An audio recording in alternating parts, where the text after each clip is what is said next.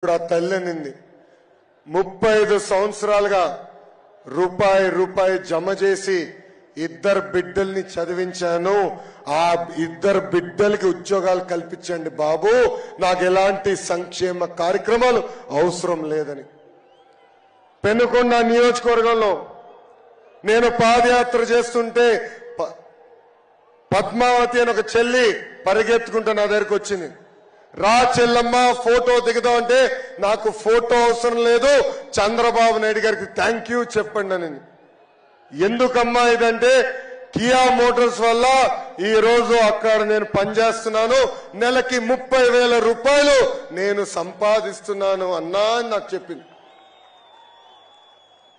పద్మావతి చెల్లిని అడిగా చెల్లమ్మ Kia Motors రాకుండా ముందలా ఏం చేసేవాడని?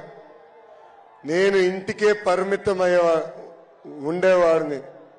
ఇప్పుడు ఏం చేస్తున్నామా అంటే ఇల్లుని నేనే నడిపిస్తున్నా అన్నా అని ఆమె నాకు స్వయంగా చెప్పింది. ఇంకా రాప్తాడు నియోజకవర్గంలో ప్రభాకర్ రెడ్డి గారి పిల్లల్ని కలిసా. రెండు వేల నాలుగులో ఆనాటి కాంగ్రెస్ పాలకులు ప్రభాకర్ రెడ్డిని అతి కిరాతకంగా చంపేశారు. ప్రభాకర్ రెడ్డి గారి బిడ్డల్ని చంద్రబాబు నాయుడు గారి దత్తక తీసుకుని ఎన్టీఆర్ మోడల్ స్కూల్లో చదివిస్తాం జరిగింది. ఆ బిడ్డలందరూ ఈరోజు సెటిల్ అయ్యి అద్భుతమైన ఐటీ కంపెనీలో పనిచేస్తాం కూడా చూశాం. ఇంకా ప్రకాశం జిల్లాని ఏకంగా ఎడారిగా మార్చేశాడు ఈ జగన్. ఒక్క పరిశ్రమ తీసుకురావాల? ఒక్క సాగునీటి ప్రాజెక్టు పూర్తి చేయాల? ఇంకా గుంటూరు కృష్ణా జిల్లాలో అమరావతి రైతుల్లో పడుతున్న కష్టాలు నేరుగా నేను తెలుసుకున్నా. రాజధాని చంపేసి జగన్ రాక్షస ఆనందం కూడా నేను చూశాను.